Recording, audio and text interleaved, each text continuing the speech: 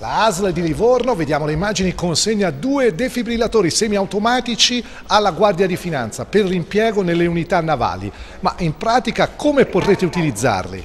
Allora, a bordo delle nostre unità navali che svolgono il loro servizio costantemente sia di giorno che di notte verranno consegnati questi due defibrillatori in modo che possano essere velocemente portati dove ce n'è bisogno. Qui a Livorno saranno, uno sarà consegnato a bordo di un guardacoste che potrà pattugliare le acque dell'arcipelago mentre l'altro sarà consegnato alla sezione operativa navale di Porto Ferraio. Lì sono molti gli interventi che potrebbero richiedere l'utilizzo del defibrillatore? Sicuramente sì, visto anche che durante la stagione balneare l'isola è frequentata da numerosi turisti, dislocarlo su una vedetta veloce che può portarlo rapidamente laddove ce n'è bisogno sarà sicuramente vantaggioso per tutta la collettività. Nei mesi estivi, per dare un'idea, quanti interventi fate?